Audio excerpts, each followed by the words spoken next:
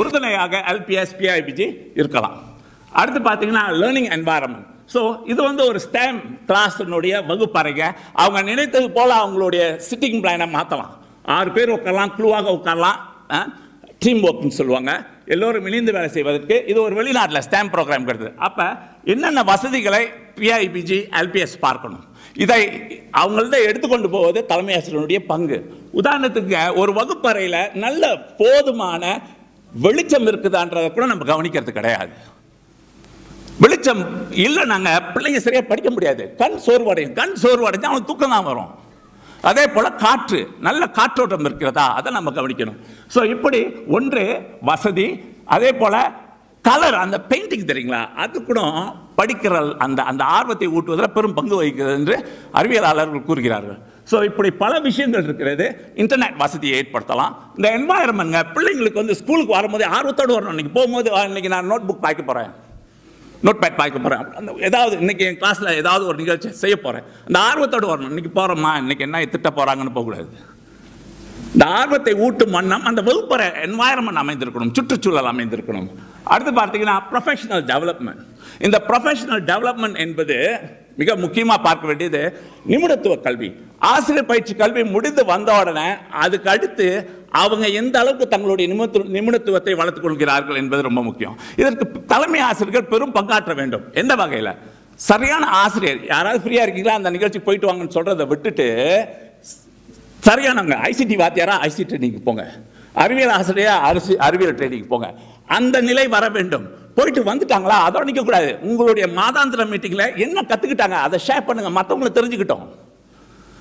அப்பதாங்க என்ன வளர்ந்து கொண்டு இருக்குது என்ன மாற்றங்கள் ஏற்பட்டு கொண்டு இருக்குது எல்லாருக்கும் தெரியும்.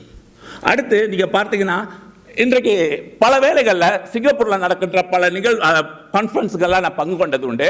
அப்போ என்ன நடக்கும்னா மலேசியாவிலேருந்து வந்து கலந்து கொள்றவங்க வந்துட்டு இந்த சீன பள்ளிகளில் அல்லது இன்டர்நேஷனல் ஸ்கூல்ல தான் வராங்க. சீன பள்ளிகள்னால் ப்ரைவேட் சைனீஸ் ஸ்கூல் இருக்காங்க. அந்த ஸ்கூல்லேருந்து வருவாங்க.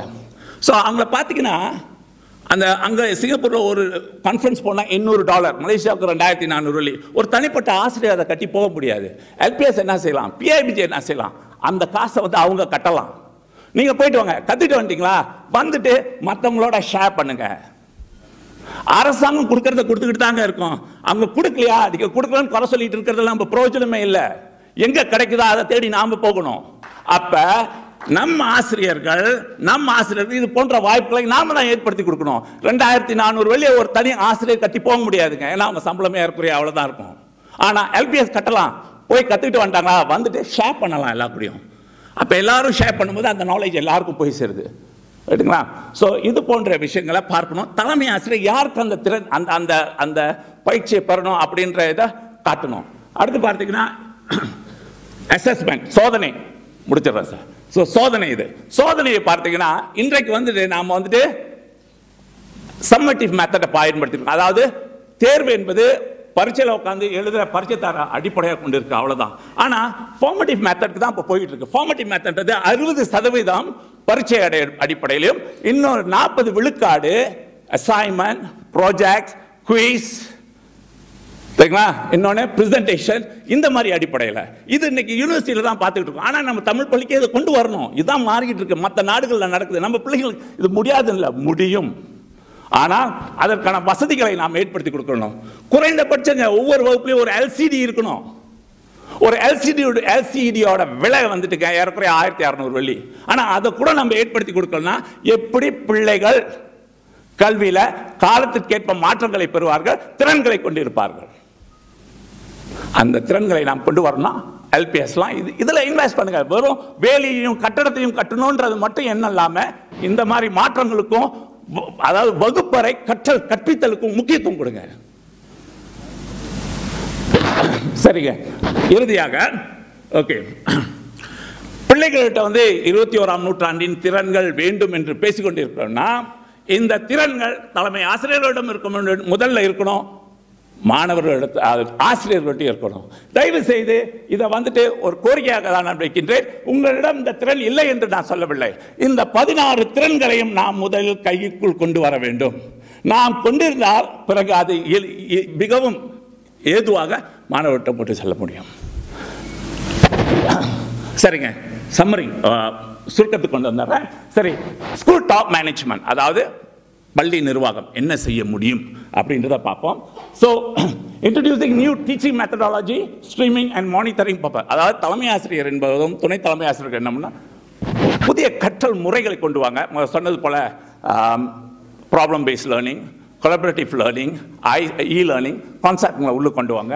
அந்த கான்செப்ட் வந்த பிறகு அதை மானிட்டர் நீங்கள் தான் மானிட்டர் பண்ணணும். நீங்கள் போய் செய்யுங்க அப்படின்னு சொல்லிட்டு இருக்க முடியாது. நீங்கள் முன் நிற்கணும் அதுக்கு தான் நான் சொன்னேன் நீங்கள் முதல்ல தெரிஞ்சுக்கணும் அந்த இருபத்தி ஒரு திறன்களையும். அந்த திறன் உங்களிடத்தில் கொண்டு இருக்க வேண்டும். ஸ்ட்ரீமிங் இதை ஏன் நான் சொல்கிறேன்னா சிங்கப்பூர் போன்ற நாடுகளில் ஆரம்ப அந்த kindergarten studies pre school வந்துட்டு கட்டாய கல்வி. ஒன்றாம் ஆண்டு வரும்போது எழுத படிக்கலாம் தெரிஞ்சு ஆனால் நம்ம நாட்டில் பாதி பேர் ப்ரீ ஸ்கூலே போகிறதில்ல ஒன்றாம் ஆண்டுக்கு வந்தோடனே அங்கே உள்ள பாடத்திட்டமானது குறைந்தபட்சம் எழுத படிக்க தெரிஞ்சிருக்கணும். அவனுக்கு சிலர் ஏபிசிடியே ஜெட் தெரியாத நிலையில வரான். ஸோ நாம் இங்கே ஸ்ட்ரீமிங்கை கட்டாயம் அறிமுகப்படுத்தியே ஆக வேண்டும். இது பள்ளியை பொறுத்து தான். அந்த பள்ளி எல்லாருக்கும் ஏபிசிடி e, எழுத படிக்க எல்லாம் தெரியுதா? ஸ்ட்ரீமிங் தேவையில்லை. ஆனால் தெரியாத பட்சத்தில் ஸ்ட்ரீமிங் கண்டிப்பாக தேவை. அப்படி செய்தோம்னா அந்த பிள்ளைங்க வந்துட்டு ஆறாம் ஆண்டு வரைக்கும் தெரியாமல் இருக்க மாட்டான். ஏன்னா அரசாங்கம் பாடத்திட்டத்தை ஃபாலோ தான் பண்ண சொல்லுதுங்க. நாம் வந்து உங்களுக்கும் சில சுதந்திரத்தை கொடுத்துருக்குன்றதை நீங்கள் உணரணும். அந்த சுதந்திரத்தை முறையாக கையாண்டு ஆரம்ப ஒரு ஆண்டில் கூடங்க நம்ம பிள்ளைகளை மாற்றிடலாம் ஒன்றும் தெரியாத பிள்ளைகளை எவ்வளோ கற்றுக்க வச்சிடலாம் ஆனால் அவங்கள அப்படியே விட்டுட்டோம்னா ஒன்றுமே தெரியாமல் போயிடும். அடுத்து பார்த்தீங்கன்னா இருபத்தோராம் நூற்றாண்டின் கல்வி கிளாஸ் ரூம் ஸ்டாம் ப்ரோக்ராம் அல்லது இருபத்தோராம் நூற்றாண்டின் வகுப்பறை. இது பல பள்ளிகள் அறிமுகப்படுத்தியிருக்கீங்க. பல வேலைகளில் இது வெறும் அழகுபடுத்திய ஒரு சூழல் மட்டும்தான் இருக்கிறது. ஆனால் இருபத்தி ஓராம் நூற்றாண்டின் கல்வி அஹ், கிளாஸ் வகுப்பறை என்பது இருபத்தி ஓராம் நூற்றாண்டின் திறன்களை அவர்களை கொண்டு செலுத்தும் ஒரு இடம் என்பதை நாம் மறுக்க முடியாது. அதே போன்று ஃபார்மேட்டிவ் எக்ஸாம் எக்ஸாம் அதாவது சோதனை முறையை நாம் ஏற்றுக்கொள்ள வேண்டும். பெற்றோர்கள் கண்டிப்பாக இதை எதிர்ப்பாங்க. ஏன்னா நாமெல்லாம் அந்த வகையில் வந்துட்டோம். ஆனால் அதனுடைய நன்மைகளை நாம் உணர வேண்டும். இதன் வழிதான் நம் மாணவர்கள் பல திறன்களை அந்த இருபத்தி ஓராம் நூற்றாண்டின் திறன்கள் என்பதை பெற்றுக்கொள்ள முடியும். அதனால் ஸோ அதே மாதிரி தலைமை ஆசிரியர்கள் காலத்திற்கேற்ப அவ்வப்போது ஏற்படும் மாற்றங்களுக்கு ஏற்ப ஆசிரியர்கள் இந்த ப்ரொஃபஷனல் ட்ரைனிங்களை ஏற்படுத்தி கொடுக்க வேண்டும். சரி எல்பிஎஸ் என்ன செய்யணும்? பிஐபிஜி என்ன செய்யணும்னு பார்த்தீங்கன்னா be a team player and synergy partner to school top management உங்களுடைய இலக்கு மாணவர்களாக இருக்க வேண்டுங்க. உங்களுடைய தனிப்பட்ட ஆசையாக இருக்கக்கூடாது. ஆக சினர்ஜி என்பது இணைந்து ஒருங்க முறையாக எல்லோரோடும் பள்ளி நிர்வாகத்தோடு செயல்படுவது. ஸோ அந்த வகையில் பள்ளி நிர்வாகத்தோடு சிறப்பாக செயல்படுவது. அடுத்து ப்ரொவைட் ஃபைனான்ஷியல் சப்போர்ட் ஒரு வகுப்பு அறையிலங்க இந்த ஸ்டாம்ப் ப்ரோக்ராம்லாம் கொண்டு வரணும் அதுக்கான மேசைகள்லாம் வேறு வேறு மாதிரி இருக்கும். அந்த அந்த வ- அந்த வகுப்பில் எல்சிடி இப்படிலாம் போடணும்னா பணம் தேவை. அதற்கு எல்பிஎஸ் பிஐபிஜி ரெடியாக இருக்கணும். எப்படி வரும்னு கேட்காதீங்க. அதுக்கு இன்னைக்கு யாராவது சொல்லி கொடுக்குற அந்த தலைப்புகள் அதெல்லாம் இருக்கு. அது தெரிஞ்சுக்கங்க. சரி அடுத்து பார்த்தீங்கன்னா collaborate with other government agencies and NGOs to implement twenty first century skills அப்படின்னா என்ஜிஓக்கள் யாராங்க தமிழார வரை இந்த நிகழ்ச்சி நடத்துகிறாங்களே இதே ஒரு உதாரணம். ரைட்டுங்களா? ஸோ இப்படி பல என்ஜிஓக்கள் பல நல்ல நிகழ்வுகள் தமிழ் பள்ளி வளர வேண்டும் வாழ வேண்டும் என்று செய்து கொண்டிருக்கிறார்கள். அதோடு நாம் இணைந்து கொள்ள வேண்டும். அதே மாதிரி create platform for network communication and cooperation between parents and schools பள்ளி நிர்வாகத்தோட ஒரு சுமூக உறவை ஏற்படுத்துங்க. நீங்கள் தான் மிடல் மேன் இப்போ ஃபார்மேட்டிவ் எக்ஸாம் மெத்தடை கொண்டு வந்தால் நிச்சயமாக பெற்றோர்கள் பலர் இது சரியில்லைன்னு எதிர்ப்பாங்க. ஆனால் அதுதான் சரி காலத்தோடு சரியாக போயிட்டு இருக்க ஒரு விஷயம். எடுத்து செல்ல வேண்டியது உங்களுடைய கடப்பாடு கூட.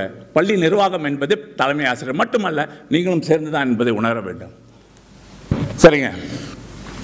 இறுதியாக சார்ல்ஸ் டாவின் என்ன சொல்கிறாருன்னா it is not the strongest of the species that survive nor the more intelligent but the one most response to the change. அப்படின்னாங்க ரொம்ப எளிமையாக சொல்லலாம். யார் எவ்வளோ பலசாலி என்பது முக்கியமல்ல. ஸ்ட்ராங்கஸ்ட் ஸ்பீசிஸ்ன்னு சொல்லியிருக்காரு. அல்லது எந்த அளவுக்கு அறிவாளி என்பது தெரிய முக்கியமல்ல. ஆனால் காலத்தோடு தன்னை மாற்றிக்கொள்ளாதவர் அழிந்து விடுவார். அதான் உண்மை. ஆக இந்த உலக ம- மயமானது நம் நாட்டு கல்வி எந்த அளவுக்கு மாறிக்கிட்டு இருக்கின்றது முக்கியம் இல்லைங்க. உலகளாவிய கல்வி எந்த நோக்கி போய்கிட்டு இருக்கின்றது ரொம்ப முக்கியம். அதுக்கேற்ப நம்மளுடைய நிலையை மாற்றிக்கொள்ள வேண்டும். ஆகவே தமிழ் பள்ளி தமிழ் பள்ளியில மாணவர்கள் எண்ணிக்கை கூட வேண்டும் என்றால் தமிழ் பள்ளிக்கு பிள்ளைங்களை அனுப்புங்க அனுப்புங்கன்னு சொல்றதை விட தமிழ் பள்ளியில் இந்த இருபத்தி ஓராம் நூற்றாண்டின் கற்றல் கற்பித்தல் மற்றும் பல மாற்றங்கள் இந்த திறன்களை சரியாக கொண்டு வந்து அங்க படிக்கக்கூடிய மாணவர்கள் சிறந்த மாணவர்களாக உருவாக்கினோம்னாவே தானா சின்ன பள்ளிக்கு போறவங்க மலைக்கார பள்ளிக்கு போறவங்களாம் இங்க வந்துருவாங்க. சரிங்க. அது உங்க கையில தான் என்று சொல்லி இந்த வாய்ப்பளித்த ஐயா திரு முத்துசாமி அவர்களுக்கும் இதுவரை கேட்டுக்கொண்டிருந்த உங்களுக்கும் நன்றியை கூறிக்கொள்கிறேன். நன்றி வணக்கம். சரி. அதனால சிங்கப்பூரில் உள்ள கல்வி நிலையை பற்றியும் ஓரளவு அப்படியே அவர் நம்மகிட்ட படம் பிடித்து காண்பித்து விட்டார். ஆக இருபத்தோராம் நூற்றாண்டு தமிழ் ப- கல்வி அல்ல என்ற அடிப்படையில் அந்த முதல் கான்செப்ட் இது பண்ணீங்களே? என்னுடைய. ஆமாம்மா. என்னுடைய ஆமாம். ஓகே. ஏன்னா அவர் பேசுனது எல்லாம் ஏறக்குறைய அதனை ஒட்டி தான் அமைந்திருந்தது. நீங்கள் அந்த படத்தை இன்னொரு முறை பார்க்குறது நல்லதுன்னு நினைக்கிறேன். சரிங்க. அப்போ என்னென்னா இருபத்தோற்றா இருபத்தோராம் நூற்றாண்டு த- கல்வி என்ற அடிப்படையில் என்னென்ன திறன்கள் இருக்க வேண்டும்? வாழ்வியல் திறன்கள் தொழில்சார் திறன்கள் அப்புறம் தொடர்ந்து என்ன இருக்க வேண்டும்? கற்றல் புத்தாக்க திறன்கள் தகவல் ஊட ஊடகம் தொழில்நுட்ப திறன்கள் அப்புறம் கணிதம் எழுத்து வாசிப்பு என்ற திறன்கள். என்னென்ன திறன்களாக இருக்கணும் அப்படின்றது அடுத்ததுங்க. அடுத்தது அடுத்து ஒரு ஒரு கிராஃபிக் இன்னொன்று இன்னும் இன்னும் ஆ இதுதான். அந்த திறன்களை பற்றி அப்படியே படம் இந்த படத்தை நீங்கள் என்ன செய்யணும்னா நம்மளுடைய கல்வி மு- முறையே இப்போ அப்படி வந்துருச்சுங்க. ரொம்ப சுலபமாக வந்துரு வந்துருச்சு. யாருக்கெல்லாம் டாத்தா இருக்கோ நீங்கள் தட்டி டுவெண்ட்டி ஃபஸ்ட் செஞ்சுரி லேர்னிங் அப்படின்னு பாருங்களேன். டீச்சிங் அண்ட் லேர்னிங் பாருங்கள் இந்த வரைபடம் உங்களுடைய க கணினி உங்களுடைய கையடக்க தொலைபேசியில் வரும். ஆக ஆசிரியரும் சரி தலைமை ஆசிரியரும் சரி எல்பிஎஸ் சேர்மன் பிஐபி சேர்மன் எல்லோரும் இதை பற்றி தெரிந்திருக்க வேண்டும். அப்போ அது வந்து அடிப்படை. அடுத்தது சப்போர்ட் சிஸ்டம் இதை எப்படி நம்ம பள்ளிக்கு கொண்டு சேர்க்க வேண்டும்? எப்படி அந்த கட்டமைப்பு கட்டமைப்பு இருக்க வேண்டும்? தரம் மதிப்பீடு கலைத்திட்டம் கற்றல் அணுகுமுறைகள் படித்திறம் மேம்பாடு பற்றி சொல்கிறாரா இல்லைங்களா? ஆக கடைசியாக வந்து கற்றல் சூழல் வகுப்பறை அதெல்லாம் காமித்தார் ஸோ இதை பற்றி அவர் ரொம்ப தெல்ல தெளிவாக ச- காண்பித்து விட்டார். ஒரு தொடக்கத்தை நல்ல ஒரு தொடக்கத்தையும் ஏற்படுத்தி கொடுத்து விட்டார். ஆக கடைசியாக நாம் ஏன் இதை பற்றி பேசியிருக்கோம் அப்படின்றது எல்பிஎஸ் பிஏபிஜியுடைய பங்களிப்பு எவ்வாறு இருக்க வேணும் என்னென்னலாம் செய்யலாம் அப்படின்றத பற்றியும் சொன்னார்.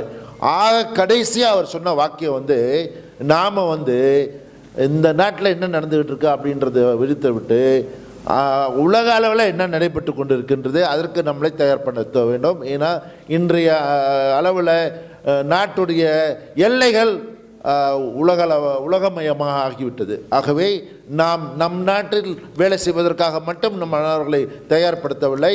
உலக அளவு அளவில் போட்டியிடக்கூடிய அளவில் நம்ம மாணவர்களை தயார்படுத்தி கொண்டு இருக்கிறோம் என்று சொல்லி நம்ம நாட்டில் இருபத்தோராம்